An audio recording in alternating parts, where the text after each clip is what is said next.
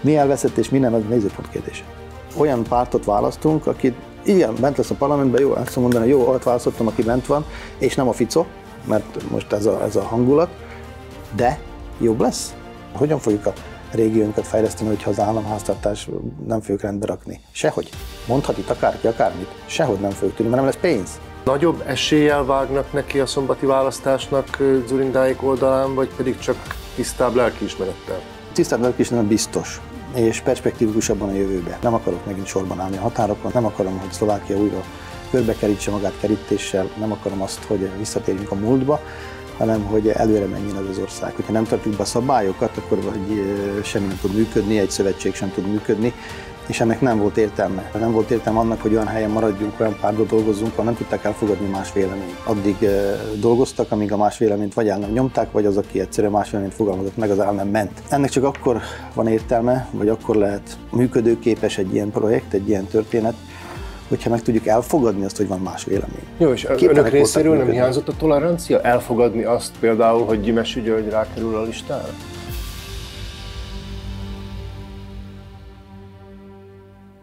A Paraméter stúdiójából Juhász László köszönti olvasóinkat, hallgatóinkat és videópodcastunk nézőit. A küszöbön álló parlamenti választás előtt eddig 10 képviselőjelöltel beszélgettünk, ma ismét egy párt vezetője lesz a vendégünk. A stúdióban Solymos Lászlót köszöntöm, aki a Híd párt elnöke, korábbi környezetvédelmi miniszter. Jó napot kívánok! A Híd platform május végén úgy döntött, hogy távozik a szövetségből, a közös pártból, mivel az MKP platform ragaszkodott ahhoz, hogy Gyimesi György a listájára kerüljön, a Híd számára pedig az ő személye elfogadhatatlan volt.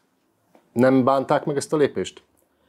Én nem, személy szerint, mert eh, ahogy látom, hogy milyen irányba indult el a szövetség, eh, nem tudom, hogy tudnák-e egy ilyen pártban tevékenykedni, úgyhogy ez, ez egy abszolút természetes és racionális döntés volt, ha az ember azt nézi, hogy kivel tud együttműködni, mivel tud azonosulni, és mi az, amivel már nem, akkor ez egy természetes lépés volt, vagyis egy várható lépés is volt véleményem szerint azoktól, akik ezt meglépték. Mennyire volt egy utolsó csepp a pohárban ez a gyimesi ügy, vagy mennyire szólt róla, egyénről, Hát annyira volt utolsó csepp, hogy, hogy megpróbálták már, eh, megpróbálták kiszorítani a hidat, hogy így mondjam, egyesek, eh, az MKP-sok eh, a, a szövetségben már előtte is, hisz nem pár hónap előtte volt az a, az a, az afféra, ugye, amikor meg akarták szüntetni a platformokat, tehát így akarták bedarálni tulajdonképpen a hidat,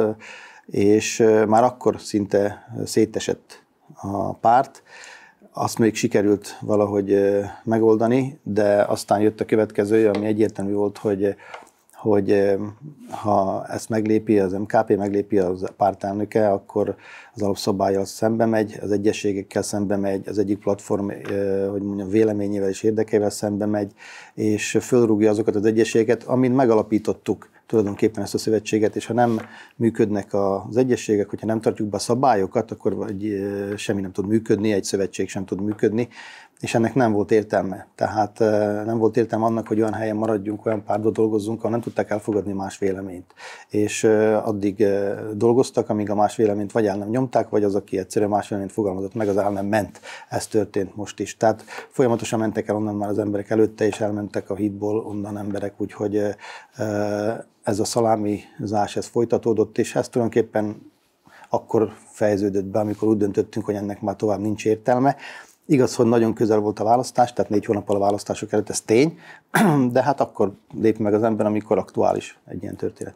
És hogy érzi, jobb helyzetben vannak most a híd politikusai, mint a szövetségben voltak?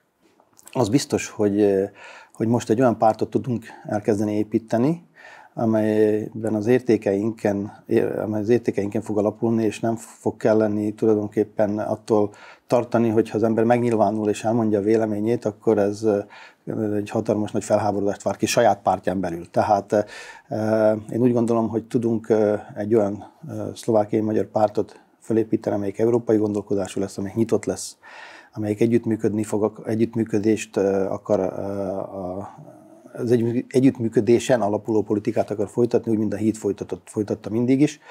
És ezt kezdtük el, úgyhogy ezt szeretnénk folytatni, és úgy gondolom, hogy sokkal szabadabban tudunk lélegezni ebben a párban. Ezek azok az értékek, amelyeket a híd bevitt, vagy be akart vinni a szövetségbe? Ezek azok az értékek. Mi elmondtuk az elején, elejétől kezdve, tehát amióta elkezdtünk azon dolgozni, hogy megpróbáljuk egy gyűjtőpárt alá szervezni a szlovákiai magyar pártokat, hogy minden, az, az a színes szlovákiai magyar választópolgár meg tudja találni az alatt az egy ernyő alatt a saját saját érdekét, vagy a saját politikusait, és azokat, akik úgy gondolkodnak, ahogy ő. Már akkor elmondtuk azt, hogy ennek csak akkor van értelme, vagy akkor lehet működőképes egy ilyen projekt, egy ilyen történet, hogyha meg tudjuk elfogadni azt, hogy van más vélemény, hogyha meg tolerálni tudjuk azt, hogy van más vélemény. De itt uh, sajnos nem így működött, tehát volt egy mag, aki azt mondta, hogy vagy így lesz, vagy sehogy. És uh, tulajdonképpen ez, a, ez, ez, hogy így megpróbál, tehát hogy bezárkóznak, tehát hogy ez a párt így bezárkózik, és csak tulajdonképpen azt tudja elfogadni, amit, a, amit, amit egyesek ott, ott mondanak, azáltal véleményem szerint mm, folyamatosan és, és hosszú távon nem lesz ez, ez, hogy mondjam, előrelátó és perspektívikus. Ugyan, úgy azt gondolom, hogy ugyanaz a, az a politika sem, amit képvisel, az a közösség számára hosszú távon nem lesz perspektívikus. Elnök úr, nem voltak önök egy kicsit, vagy nagyon naívak, amikor azt hitték, hogy ez működni fog? Hiszen már a, a szövetség megalakulásakor ajtócsapkodások voltak, árulózás folyt. Úgy gondolták, hogy ezt le lehet lesz majd állítani, és nem akarja majd az MKP bedarálni a másik két platformot? Vagy miben bíztak önök? Én bíztam benne, hogy, hogy lesz egy olyan réteg az MKP-ban, és azt fog felülkerekedni, aki az együttműködést és pont ezt az előrelépést fogja, fogja szem előtt tartani, és errefele fog elindulni tulajdonképpen ez a, ez a, ez a, közös, ez a közös projekte. Sajnos nem ez történt, a, a másik oldal volt az, amelyik, amelyik, hogy így mondjam, fölébe kerekedett azoknak, akik, akik megpróbáltak, megpróbáltak normalizálni azt a 12 éves, 12 éves szembenállást, ami volt az, ami volt előtte, és a híd és az MKP között folyt, a két párt között, az most tulajdonképpen a platformok vették át, tehát az MKP platform ugyanúgy folytatta ezt a fajta, ezt a fajta háborút, hogy így mondjam, a híddal szemben a helyet, hogy kooperált volna egészen addig, amíg az embereknek az, az meg azt nem mondták a hídban, hogy ennek elég, ezt már nem lehet tovább tűrni, és, és elviselni, és elmentünk onnan. Ennyi a történet. Nagyobb eséllyel vágnak neki a szombati választásnak Zurindáik oldalán, vagy pedig csak tisztább lelkiismerettel? Én azt mondom, hogy tisztább, tisztább lelkiismeret biztos, és perspektívikusabban a jövőbe. Úgyhogy én tudatosítottuk azt, vagy én is, és, és a kollégám is tudatosították azt, és azt hiszem, hogy a kékek is tudatosították azt, hogy nagyon rövid idővel a választások előtt alakultunk, ők is, mink is, nagyon rövid idővel a választások előtt hogy mondjam, tehát működünk, működünk együtt, és, és ez az együttműködés, ez hosszabb távra szól, és ez a, ez a projekt is, tehát a híd is és a kék is a kékeké és a híd is eh, hosszabb távra szól. Ez egy eh, első állomása ennek, a, ennek az útnak, eh, és hát mi beletettük apait, anyait mindent, tehát hogy, hogy tisztességgel helytáljunk. Megpróbáltunk nem, megpróbáltunk nem fölvenni azt a stílust, ami a szlovák politikára jellemző volt, mert azt mondjuk, hogy nem ez az út, az ország számára sem, és a társadalom számára sem az az út, ami most jelenleg folyik a politikában, és ahogy egyesek ezt a politikát csinálják, hanem egyszerűen egy nyugodt, higgadt és, és célretörő politikát szeretnénk folytatni, amely, mint mondtam, a, az érveken és a, és a normalitáson alapul, nem pedig a cirkuszon. Mennyire áldozott le Zurinda csillaga, hogy érzi? Egyáltalán hát, nem? E, az az érdekes, hogy ha az ember beszél vele, akkor sokkal aktuálisabb és sokkal reálisabb eh, elképzelései vannak neki arról, hogy mit kéne tenni, eh, mint azoknak, akik jelenleg eh, a top, tehát a, a legmagasabb preferenciákat érik el. Az biztos, hogy, hogy, hogy, nem, hogy az, hogy nagyon sok ideig kimaradt a politikából, az számára hátrány, de viszont az az előny, hogy olyan emberekkel vette külön magát, akik viszont perspektívikus, fiatal és nagyon ügyes emberek, akiknek azt a tapasztalatot, amit ő ő átélt, és amit fölszedett a hosszú évek során, azt valahogy át tudja adni, mert azt nem lehet elfelejteni, hogy ez a generáció volt az, aki ezt az országot egyszer már abból a slamasztikából, amiben belekerültünk 98-ban meccsер után, kihúzta, bevitt bennünket az Európai Unióba, a NATO-ba, és elindította az országot a nyugat felé, és azon a fejlődésen, azon a fejlődésnek az útján, ami alap, ami, amin tovább kell véleményem szerint majd mennünk. Sokak fejében talán megfordul az a gondolat, hogy szlovákiai magyar választópolgár vagyok, de teljesen kiábrándultam a szlovákiai magyar pártokból. Ez nagyon sok embernek a fejében így van, vagyis nem, hogy megfordul, de hallom vissza, mert nagyon sokat jártunk az emberek közé, és, és ez, ez, ez így van. Mit tud válaszolni ezekre a felvetésekre, aki azt mondja, hogy én már a szlovákiai magyar politikusokban sem bízom. Hát ott volt az a szövetség, ahol összejeltett volna nekik a közös párt, erre az MKP gyimesire cseréli a híd politikusait, a Magyar Fórummal előbb nem is hívják tárgyalóasztalhoz, aztán elküldik, aztán a, a híd és a Magyar Fórum sem tud megegyezni, aztán mind a ketten inkább egy szlovák partnert választanak, vagy többet. Mit lehet erre válaszolni? Azt tudom mondani talán, hogy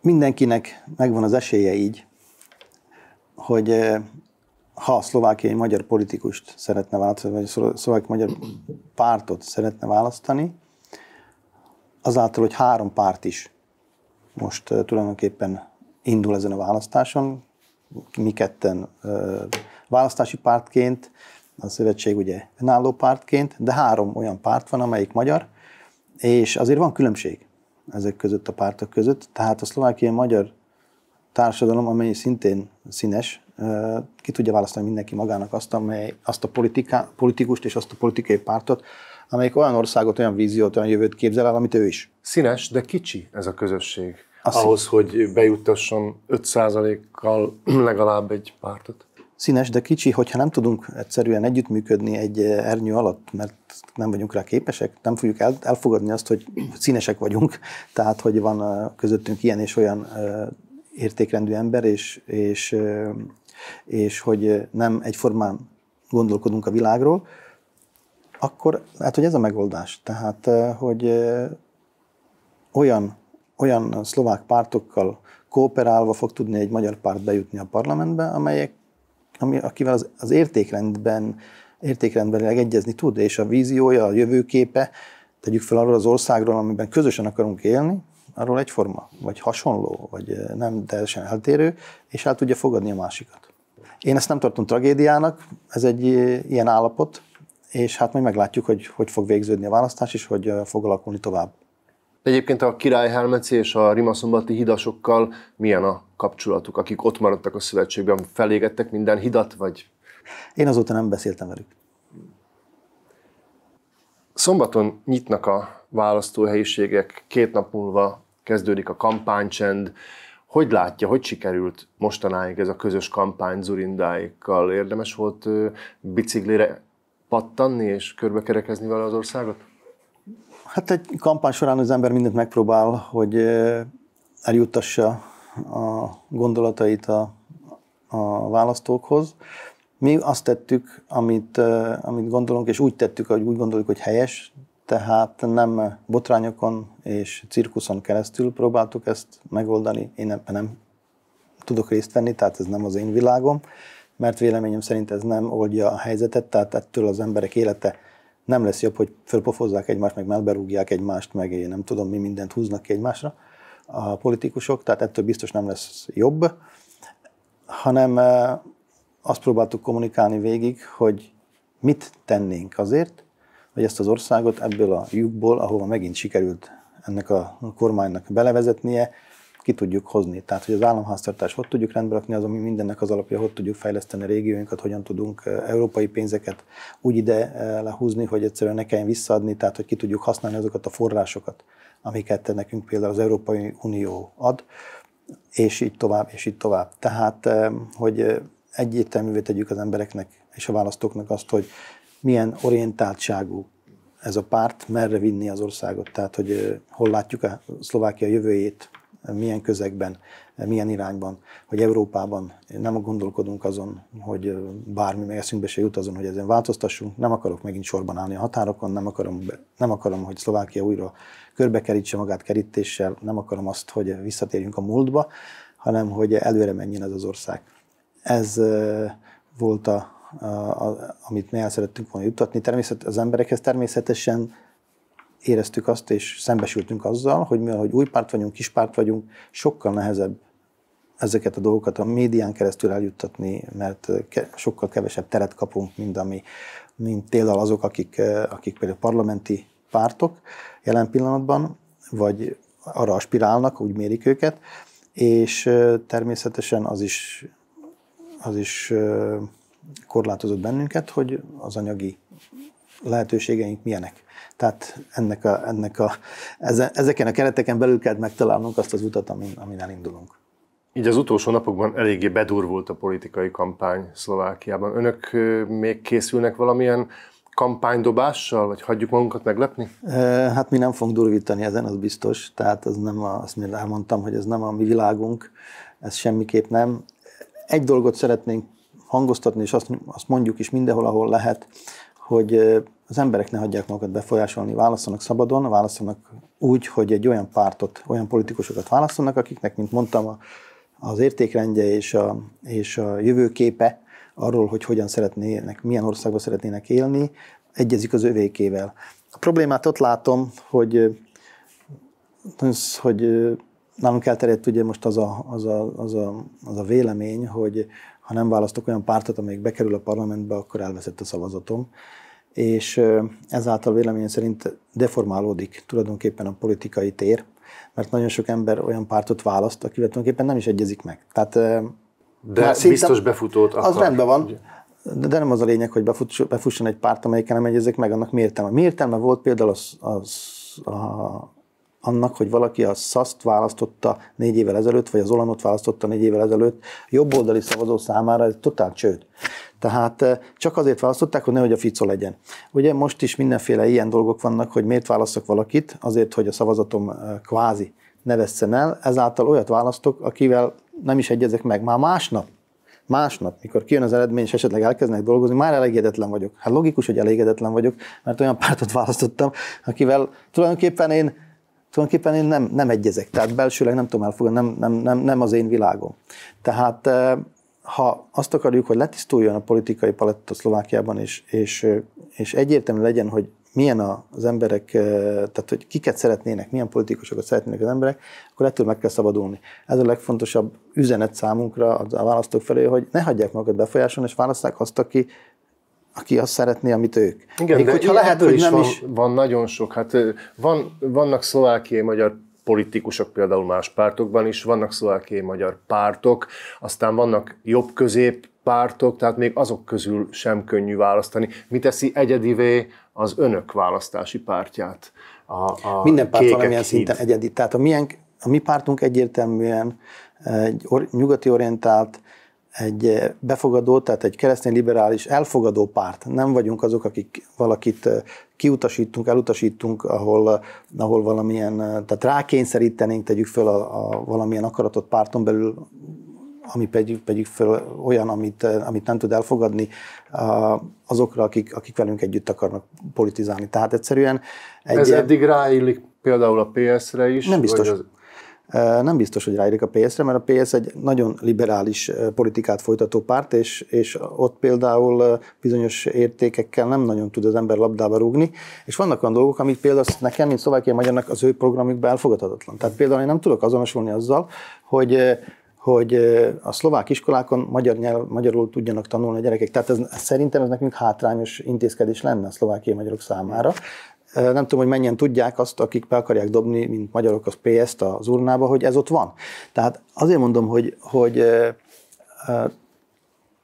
nem szabad, ne, ne hagyjuk magunkat befolyásolni bizonyos dolgokkal, mert akkor tulajdonképpen olyan pártot választunk, akit igen, bent lesz a parlamentben, jó, azt mondani, jó, ott választottam, aki bent van, és nem a Fico, mert most ez a, ez a hangulat, de jobb lesz.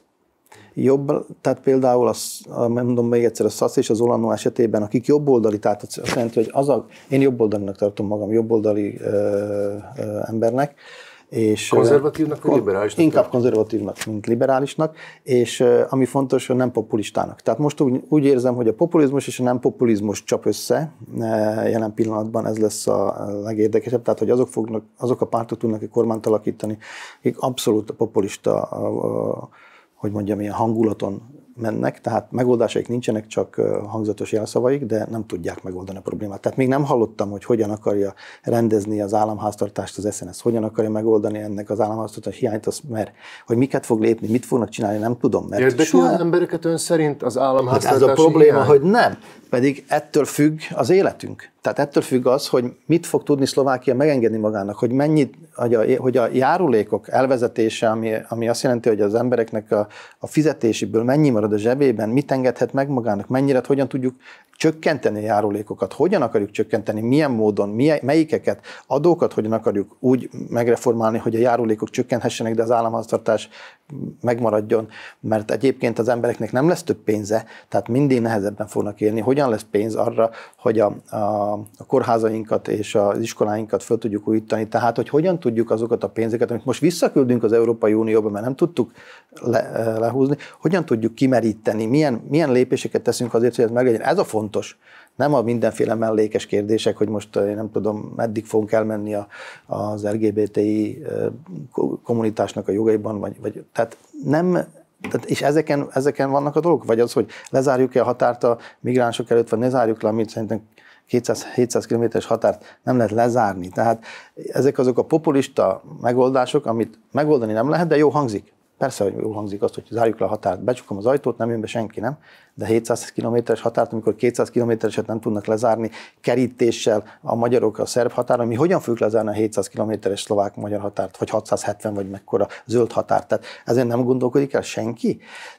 Ezért mondom azt, hogy hogy ne hagyjuk magunkat ilyen szempontból befolyásolni, és válasszuk azt, ami, aki, akik normálisan is arról beszélnek, ami reálisan az emberek életét rá, rá, rá hatással lesz. Hát hogyan fogjuk a régiónkat fejleszteni, hogyha az államháztartás nem fogjuk rendbe rakni? Sehogy. Mondhat itt akárki akármit. Sehogy nem fogjuk tudni, mert nem lesz pénz. Tehát ha az ember józanul gondolkodik, akkor, és, és nem hagyja magát emóció által, ilyen emóciók által befolyásolni, akkor rájön, hogy tulajdonképpen a kék és híd az arról beszél, hogy hogyan tudjuk az életünket jobbá tenni, ahelyett, hogy, és nem arról, nem pedig zöldségeket, meg sületlenségeket a levegőbe. Még hadd kérdezek rá Bugár Béla szerepére, aki ugye eh, nincs rajta a listáján, a híd listáján, viszont segíti a pártot. A kampányban viszont óriás plakátokon láttam őt ugyan, de ön nem szerette volna, hogy aktívabban részt vegyen a, a hit kampányban? Elég aktívan vett részt. Tehát Vagy esetleg ezeken... vállaljon valamilyen funkciót is a pártban?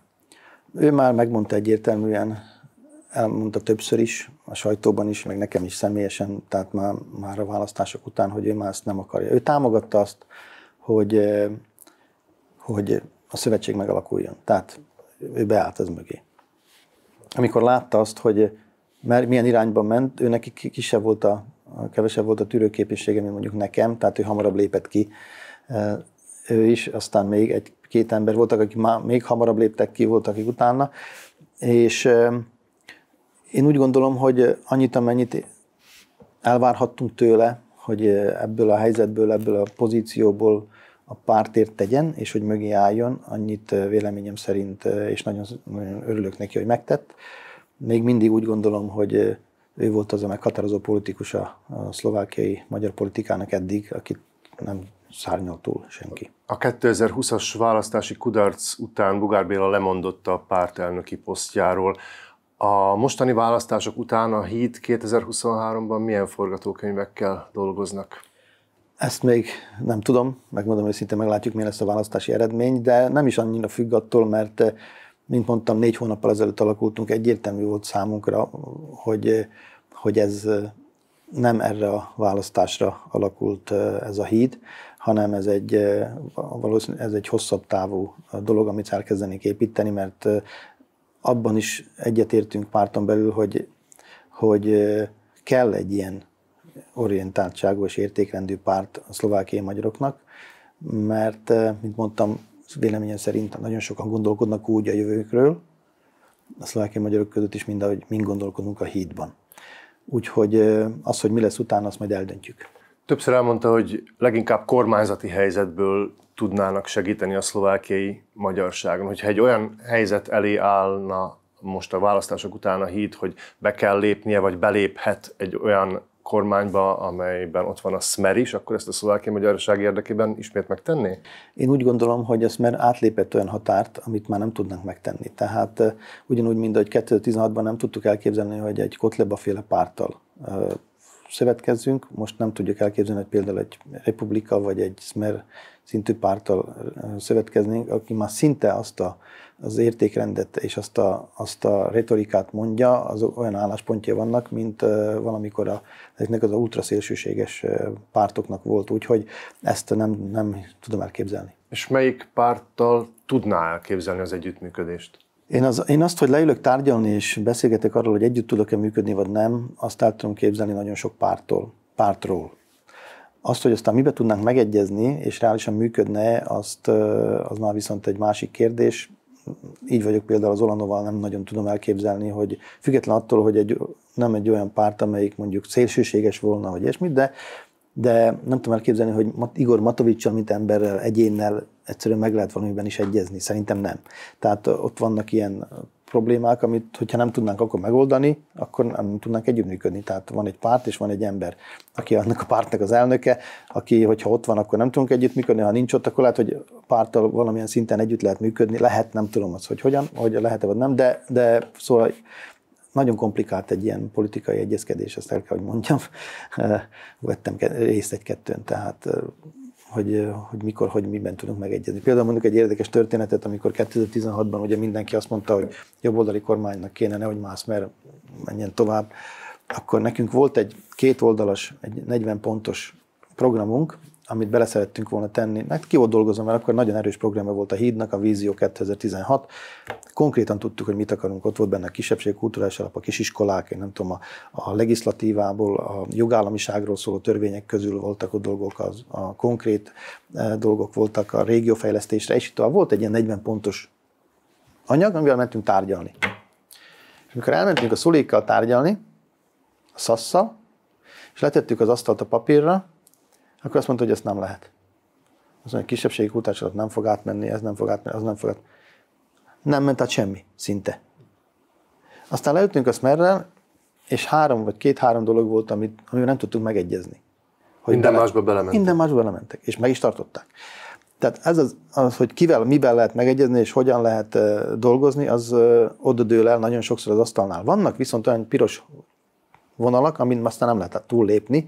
Tehát amikor, amikor az emberi jogok ellen mennek, és tehát azokon akarnak változtatni. Tehát, hogy teljesen szélsőséges valamilyen pártnak a nézete, hát abban nagyon nehéz egy demokratikus, gondolkodó európai pártnak legyen az asztalhoz, és, és valamiben megegyezni, mert az, az annyira két távoli világ, hogy nagyon nehéz ott valamilyen, valamilyen halmozban ilyen tehát hogy ilyen egymás, valami olyan, olyan halmaz találni, ahol, ahol meg tudunk egyezni. Ha nem kerülnének be a törvényhozásba, akkor van arra esély, vagy lát arra lehetőséget, hogy ismét megpróbálják felvenni a kapcsolatot a többi szlovákiai magyar párttal, és valamilyen új együttműködésbe kezdeni? Meglátjuk, hogy mit hoz a jövő, hogy, hogy én ebben nem látok problémát. Tehát az, hogy tárgyaljunk arról, hogy hogyan tudunk érdeket érvényesíteni, hát az a dolgunk.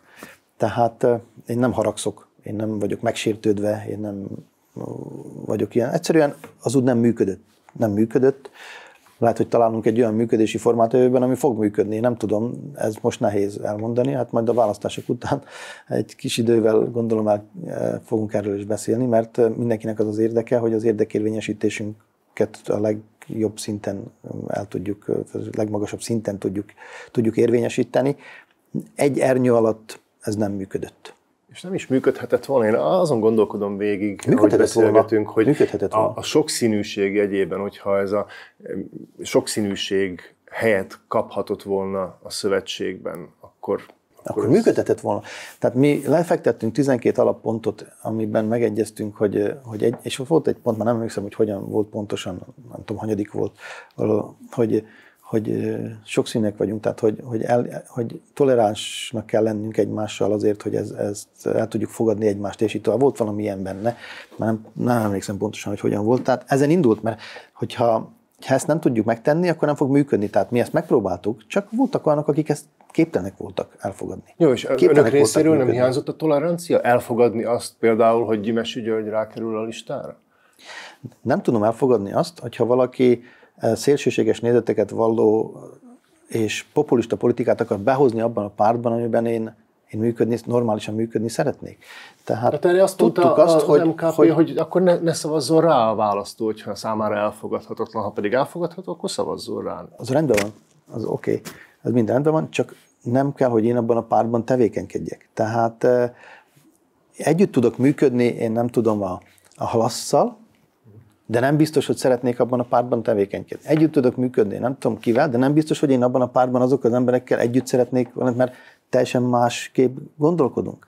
Ráadásul, ugye Gyimesi azon építette fel a karrierét, hogy, a, hogy bennünket szapolt. Tehát olyan dolg, és átlépett olyan piros vonalakat, amiket, amivel már nem tudunk, nem tudok leülni egy asztalhoz. Tehát amikor Jó, hát nemzetárulós... Az politikája is arról szólt, hogy szapulta a hidat, mégis meg tudtak velük állapodni egy választási pártban. Igen, gyűjtőpárban. 12 év után, miután mind a ketten úgy gondoltuk, hogy megpróbáljuk, és nem is működött, de viszont ő még akkor, amikor, már, akkor, amikor arról tárgyalt, hogy jönne a listára, nemzetárulózta le eh, Rigó Konrádot, és nemzetárulózta le a hidasokat. Tehát én nem hiszem, hogy ez működő, hogy így kell működni, és hogy ezt el lehet fogadni. Tehát vannak dolgok, amiket, amin nem lehet túllépni, és nem lehet elfogadni. És ezt próbáltuk elmagyarázni a szövetségeseinknek, kvázi, akikről azt hittük, hogy a szövetségeseink, akikkel valamiben megegyeztünk, hogy ezt vagy elfogadjuk ezt így, és azok betartva azokat a szabályokat, amiket lefektettünk, ez a szövetség fog tudni működni, vagy pedig akkor ez nem fog tudni működni, mert ennek így nincs értelme. Tehát az, hogy, az, hogy az, hogy átvágnak reggeltől estig, kihasználva, tulajdonképpen az elnök kihasználva a jogkörét, megkerül az alapszabályt, átvágja a szövetségesét, ez így nem, fog, nem, nem, nem, nem működhetett. Ön szerint mi ennek a választásnak a tétje, a legfontosabb dolgot, ha ki kéne emelnie? Én szerintem ennek a választásnak az a tétje, hogy a populista oldal, vagy a racionális oldal győze most jelen pillanatban. És hogy amit viszont problémának látok, az az, hogy tulajdonképpen az a, az a jobb oldal, az a nem populista oldal is, amelyiknek észnél kéne, hogy legyen, hát ott sem ez működik. Tehát nem látom azt az alternatívát, amelyik higgadt, nyugodt elképzeléseket tudna hozni, aki, aki ezt az országot normalizálni tudná teljes mértékben, és, és, és anélkül, hogy itt feszültség legyen, anélkül, hogy itt bármi nemű antidemokratikus dolgok történjenek, valamilyen nyugalmat tudna hozni, nem látom sajnos a jobb oldalon sem, mert a PS egy nagyon fiatal, tapasztalatlan párt, amelyik ráadásul, mint a jobb oldal, tehát a, a, a populista ellenzék legerősebb pártja, nem kommunikál, tehát nem keresi a partnereket, nem tudja azt, hogy esetleg hogyan tudná hogyha hatalomra jut, és kikkel tudná, és milyen módon, mik azok a dolgok, amiket be, be tudna vállalni, mik azok a dolgok, amiket már nem tudna bevállalni, mert egyszerűen a partnerei miatt, tehát hogy mi lenne az a halmaz, amivel ezt az országot előre tudná vinni, milyen, milyen intézkedések és milyen irány.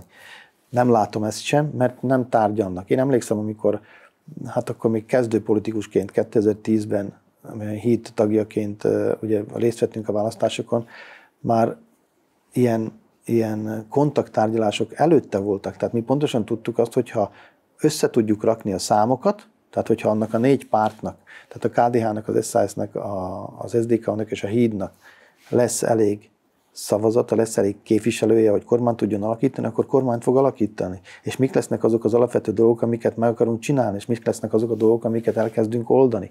Az, hogy aztán ez tönkrement, az annak volt a, a, a következménye, hogy volt egy tapasztalatlan párt, az SZSZ, akinek volt egy elnöke, aki egyszerűen egy arrogáns, beképzelt ember, most is, és volt ott egy, egy, egy, egy, egy ember, aki, aki nem fért a bőrébe, a Matovics, és ők ketten ezt szétverték. Tehát egyszerűen szétverték azt a jobboldali kormányt, ami után jöhetett Fico egyeduralkodni.